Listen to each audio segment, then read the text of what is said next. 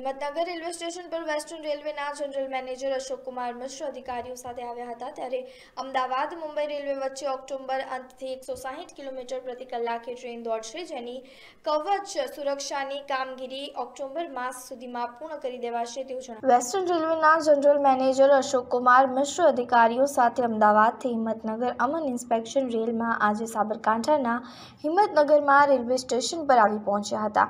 GMA પોણા બે કલાકના રોકાણ દરમિયાન ઇન્સ્પેક્શન રેલમાં બાવીસ મિનિટ અધિકારીઓ સાથે બેઠા હતા ચર્ચાઓ કરી હતી ત્યારબાદ રેલવે સ્ટેશન પર ઉતર્યા હતા અને પ્લેટફોર્મની મુલાકાત લીધી અમૃત રેલવે સ્ટેશનમાં સમાવેશ હિંમતનગર રેલવે સ્ટેશન પર કઈ સુવિધા માટે કયા ઇન્ફ્રાસ્ટ્રક્ચર બનશે તેની સ્થળ મુલાકાત લીધી અને રેલવે સ્ટેશન પર સ્ટેશન માસ્ટરની ઓફિસ, ટિકિટ વિભાગ સહિતની અલગ અલગ વિભાગની ઓફિસની મુલાકાત લીધી.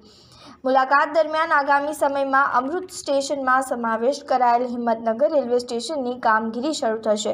તો હિંમતનગરથી ખેડબ્રહ્મા બ્રોડગેજ રેલવેની કામગીરી પણ શરૂ થશે. તો આગામી સમયમાં નવીન ટ્રેનો પણ શરૂ થશે તો જયપુર અસારવા ટ્રેનનું હિંમતનગર રેલવે સ્ટેશન પર બે મિનિટના રોકાણનો સમયમાં ત્રણથી ચાર મિનિટ કરવામાં આવશે આગામી સમયમાં અમદાવાદ ઉદયપુર ડબલ લાઇન બનશે હિંમતનગરથી અસારવા રેલવે લાઇનનું ઇલેક્ટ્રિફિકેશન શરૂ કરવામાં આવનાર છે ત્યારે હાલમાં અમદાવાદ મુંબઈ રેલવે વચ્ચે ઓક્ટોબર અંતથી એકસો સાહીઠ કિલોમીટર પ્રતિ કલાકે ટ્રેન દોડશે જ્યારે હાલમાં ટ્રેનની મહત્તમ ગતિ એકસો ત્રીસ કિમીએ દોડી રહી છે જેને લઈને આ રેલ લાઇન પર કવચ સુરક્ષાની કામગીરી ચાલી રહી છે અને ઓક્ટોબર માસ સુધીમાં પૂર્ણ કરી દેવાશે.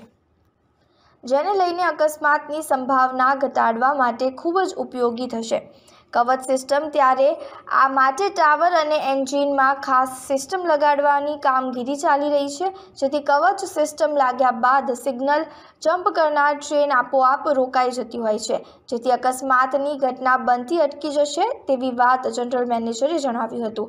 તો રેલવે સ્ટેશનની મુલાકાત લીધા બાદ પરત પોણા બે કલાક બાદ ગાંધીનગર ખાતે રાજ્યના સચિવો સાથે પણ મુલાકાત કરવા રવાના થયા હતા करीब सात महीने पहले पश्चिम रेलवे ने चार संभाला तो असरवा से लेकर और हिम्मतनगर का सेक्शन पहले नहीं देखा था तो आज उसका पहली बार इंस्पेक्शन किया ये सेक्शन बड़ा इंपॉर्टेंट है क्योंकि अहमदाबाद से उदयपुर की जो गाड़ियाँ ऐसी जा रही हैं हमने कुछ गाड़ियाँ बढ़ाई हुई हैं और आगे और प्रस्ताव आ रहे हैं तो उसके लिए देखने आए थे कि क्या फिजिबिलिटी है प्लस इस सेक्शन का इलेक्ट्रिफिकेशन भी आगे चल के करना है हमको उसी विषय में आए थे और यहाँ की सुविधाएँ तो क्या सुविधाएँ उपलब्ध करवाई जाएगी इसमें एक तो हिम्मतनगर स्टेशन पे हम लोग अमृत भारत स्टेशन में डेवलप करेंगे। 12 फीट मीटर का आरओबी एक बनाया जाएगा। अभी स्टेशन की एंट्री खाली एक तरफ़ से है। दोनों तरफ़ से हम लोग एंट्री देंगे और अभी जो बाज़ार के बीच से एंट्री है इसको मेन रोड से जोड़ा जाएगा और स्टेशन का फैसाड मतलब बाहर का जो उसका प्रारूप है उसको भी सुधारा जाएगा।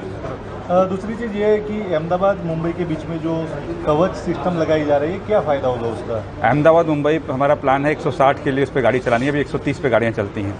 तो जब 160 किलोमीटर पर गाड़ी चलती हैं तो उसमें एक सेफ्टी रिक्वायरमेंट बढ़ जाती है। तो कुछ तो उसमें सिविल इंजीनियरिंग के काम होते हैं जिसमें बाउंड्री वाल ज़रूरी है या फेंसिंग ज़रूरी ताकि मवेशी ना आ पाए क्योंकि गाड़ी से उस स्पीड पर टकराएँगे तो काफ़ी खतरा हो जाएगा।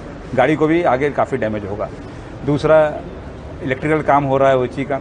तीसरा सिग्नल तो हमारे उसके लिए फिट हैं, लेकिन एडिशनल प्रोटेक्शन ये है, कवच जो है, जैसे नाम से आपने बोला, एक प्रोटेक्शन है। ये कोई फ़िज़िकल प्रोटेक्शन नहीं है। ये एक इलेक्ट्रॉनिक प्रोटेक्शन है हर गाड़ी के लिए।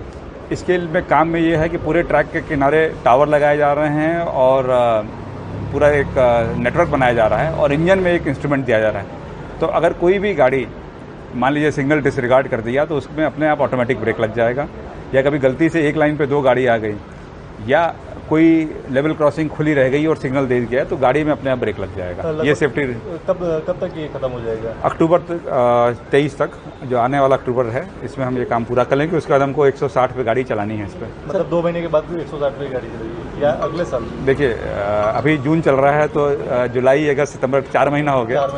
चार महीने बाद। हम तैयार होंगे। सीआरएस से उसका क्लियरेंस लेंगे उसका इंस्पेक्शन होगा। ट्रैक का भी ओ का भी सिग्नलिंग का भी।